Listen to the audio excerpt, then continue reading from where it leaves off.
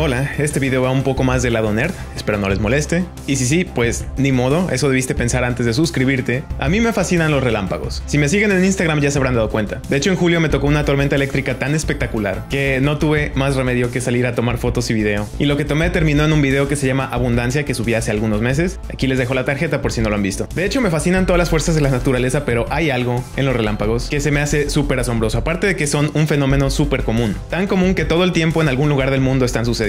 Para ver dónde ocurren los relámpagos en tiempo real está este sitio fabuloso llamado windy.com, que también tiene una aplicación para móvil. Esto suena a patrocinio, pero no, simplemente se me hace muy chido la idea de poner todos los datos climáticos en una sola plataforma súper fácil de entender. Muestra información del clima en tiempo real, pueden ser temperatura y dirección del viento a diferentes altitudes, hasta el oleaje y no me acuerdo cuántas otras más cosas, hay un montón de cosas. Si quieren ahí chequenla. Bueno, el caso es que los relámpagos son algo súper impresionante y súper común, lo que hace más increíble que a estas alturas aún sepamos muy poco de ellos. Pero la Agencia Espacial Europea está cambiando eso. Con un instrumento montado en el exterior de la Estación Espacial Internacional, llamado Monitor de Interacciones Atmosférico-Espaciales, o ASIM por sus siglas en inglés, recogió datos sobre un relámpago en especial durante una tormenta sobre Indonesia. El ASIM, equipado con detectores de rayos gamma, rayos X, luz ultravioleta, luz visible y cámaras de alta velocidad, descubrió que los rayos son aún más impresionantes de lo que pensábamos. Vamos a desmenuzar lo que sucede durante un relámpago. Un relámpago o rayo es la violentísima conducción de electrones sueltos en la atmósfera de un sitio a otro. ¿Quién los conduce?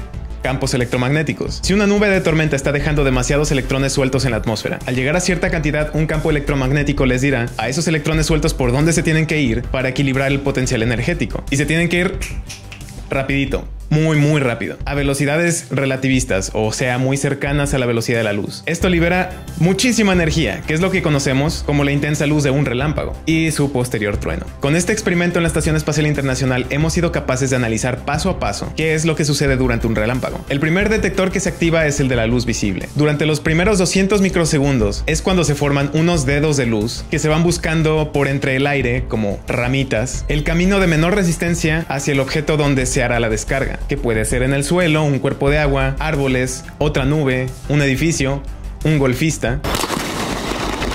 Se ven como un rayo pero su luminosidad es mucho menos intensa, y también la velocidad a la que se mueven por el cielo es mucho menor, ramificándose y serpenteando mientras busca el mejor camino en segmentos de 50 metros por vez, por eso se les llama líderes escalonados. Normalmente son de color azul, azul eléctrico.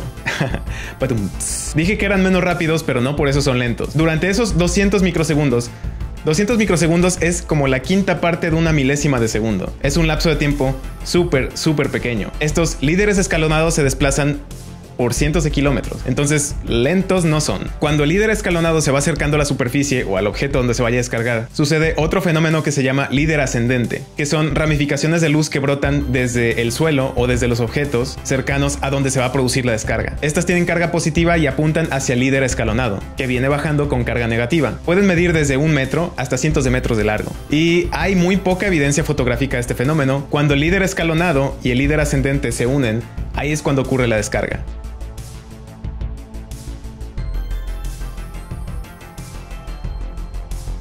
Uno de los caminos explorados por las ramitas del líder escalonado, el que presentaba la menor resistencia, une la carga negativa con la positiva. Y por ahí, por ese camino, se transmite toda la descarga. Este es el momento en que ese camino exitoso se ilumina con luz blanca súper, súper, súper intensa. La descarga puede durar bastante. De hecho, puede terminar de descargar y después volver a descargar una vez más. Por ese mismo camino que al contener aire ionizado por la primera descarga, presenta aún menos resistencia. Por eso a veces los relámpagos parecen durar varios segundos, como una especie de destello intermitente así de... Así.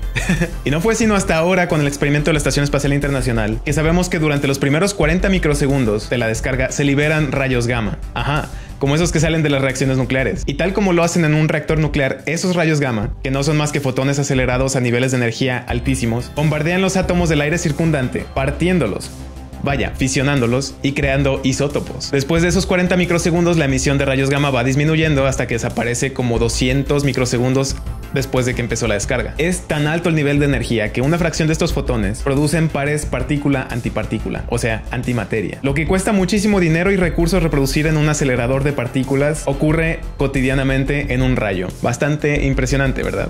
Pero todavía no termino de enumerar la cascada de eventos de altísima energía que suceden. Al mismo tiempo que empieza la emisión de rayos gamma, también inicia la emisión de luz ultravioleta. Primero en el brillo del aire ionizado a causa de la descarga, ese destello súper brillante, pero después empieza a propagar a través de algo a lo que le llaman elfos o duendes. Esto es un fenómeno que ocurre cientos de kilómetros por encima de las nubes de tormenta, pero que son parte del relámpago. Son rápidos y tenues, si parpadeas te los pierdes. Pero esto que podemos ver en rojo es solamente una parte, porque también se está emitiendo muchísima luz ultravioleta. Estos fenómenos suceden entre los 100 kilómetros y los 400 kilómetros de altitud. O sea, alcanzan a llegar hasta el nivel donde orbita la Estación Espacial Internacional. A este espacio se le conoce como la ionosfera. Aún no estamos seguros de lo que causa los duendes y los elfos, pero se cree que el enorme pulso electromagnético del relámpago, el que ocurre durante la descarga, encienden los gases ionizados en la ionosfera como anuncios de neón. O sea, podrían ser como auroras boreales en miniatura. Así es, ahora sabes que los relámpagos emiten radiación gamma como un reactor nuclear, pueden crear antimateria como un acelerador de partículas y que son súper bonitos grabados con cámaras de alta velocidad. Supongo que esto es una misión cumplida, yo ya me voy.